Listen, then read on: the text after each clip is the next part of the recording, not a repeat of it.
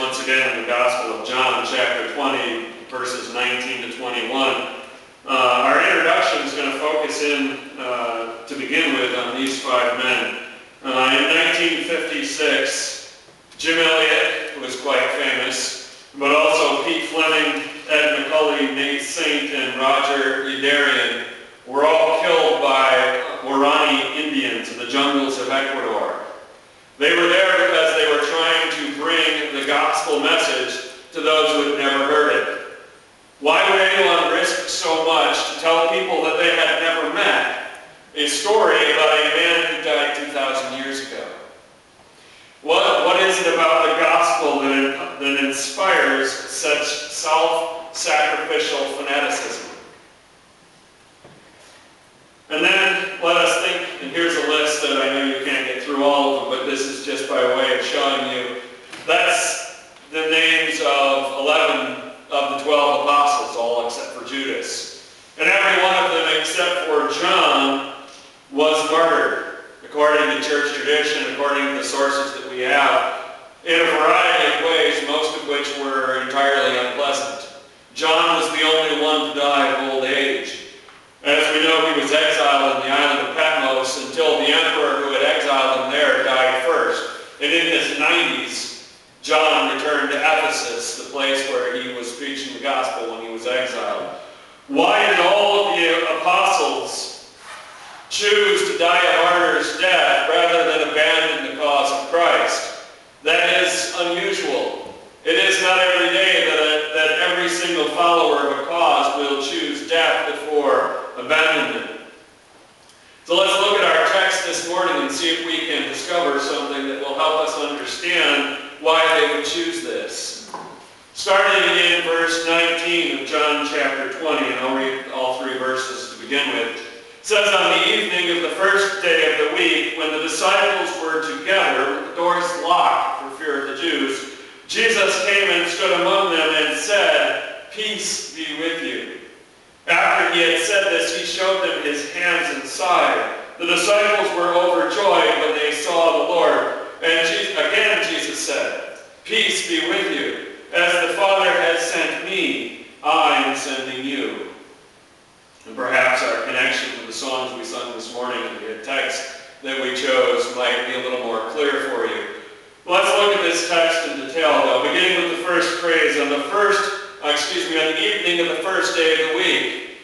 This is the night of the first Easter, so we are still on Easter Day, even though it has been a week for us. For the apostles, it has only been a few moments.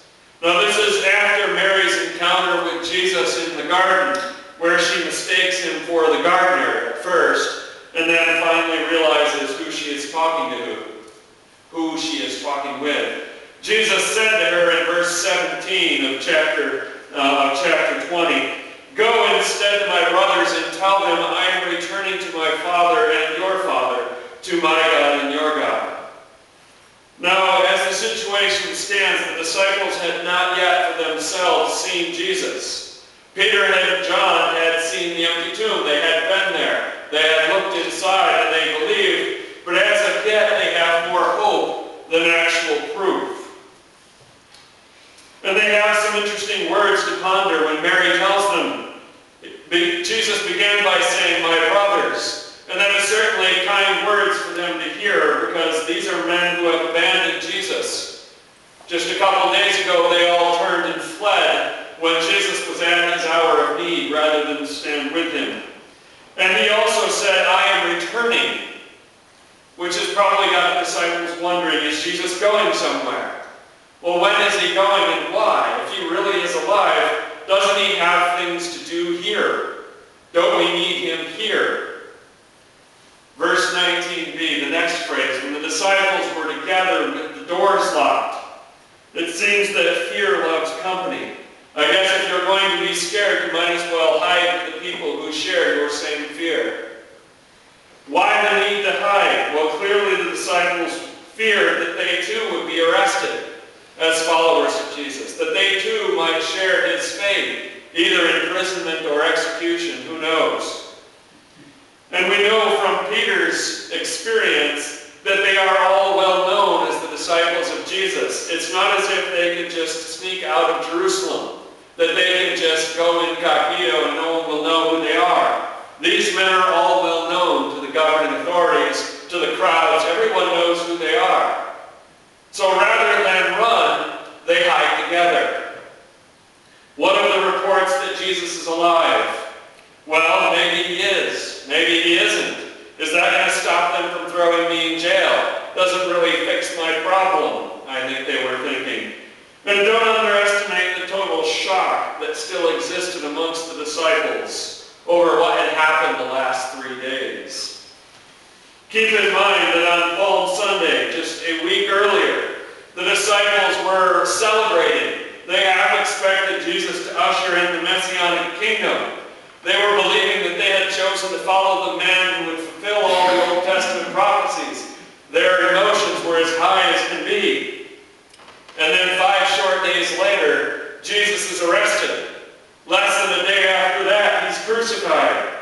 You can't imagine the roller coaster of emotions, excuse me, that the disciples are going through. Hard for anyone to cope with. When your world has been turned upside down, how do you react? So the disciples are hiding in fear. Excuse me. And it says the doors were locked. Not that a locked door is necessarily going to provide safety. If the authorities know where you are, they'll just bust the door down. But it is a gesture that demonstrates that people have fear. Around here, a lot of people don't lock their doors all the time. When I was growing up, my parents never locked our front door at night. They didn't have fear.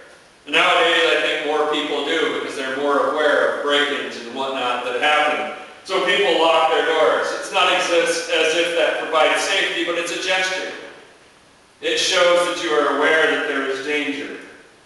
And in the midst of this, we see this. Jesus came and stood among them.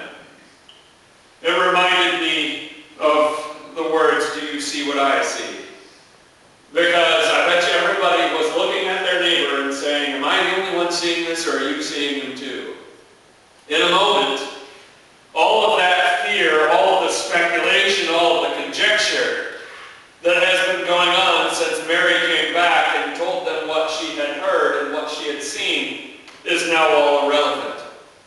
And I think the first thought running through everyone's mind is, holy cow, Mary, Peter, and John were right. He is alive.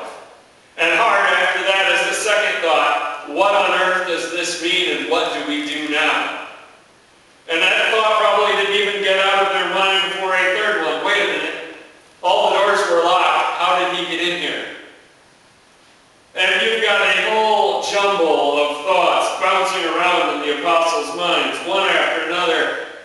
Before they get a chance to express any of those, Jesus speaks first. And he says to the apostles, Peace be with you. And I find that to be a fascinating thing to say first. Because peace is the last thing any, anyone is feeling right now. They might have been feeling shock, or awe, or wonder, or curiosity. And some of them might have been holding their chest wondering if they were about to have a heart attack. But I don't think anyone is feeling peace right now. Peace? Not so much. Not right now, Jesus. Not the right time for the disciples to grasp that Jesus' hmm, resurrection will actually mean true peace for all who believe in him. That's a little bit much for the apostles and the disciples and everyone who's with them to understand. It is the truth, certainly, but it's a lot to handle right now. Now, at this point in the story, and the stories that we like, and the movies and the books that we appreciate, at this point in the story, the wronged man, the man who has been wronged and has miraculously survived, he was usually played by Clint Eastwood in my parents' day. And in my youth, there were about 40 movies with Arnold Schwarzenegger in them that had this same theme. And nowadays, the movies that seem to have this theme have Matt Damon in them, all those Bourne movies. In those movies, these, this man who's been wronged decides to take matters into his own hands to mete out justice because the system has failed him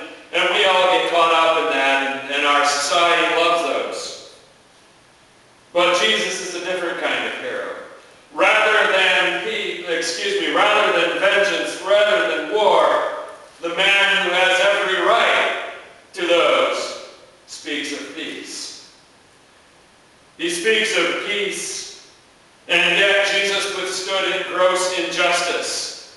He was declared guilty despite his innocence. He was put to death mercilessly, but he speaks of peace. Peace to those who betrayed him, his own brothers, the men closest to him, and peace to the world that rejected him. Following that, Jesus shows him them his hands inside, lest there be any doubt. Is this really Jesus? Is it him in the flesh? Or are we all seeing some sort of ghost or all having a vision? John goes great lengths in his gospel to emphasize the bodily resurrection of Christ. It was a big deal to him, an issue that he wanted to get straight.